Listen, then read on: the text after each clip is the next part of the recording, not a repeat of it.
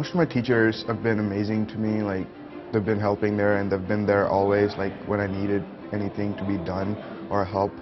So they're the best teachers I ever had, basically. Yeah.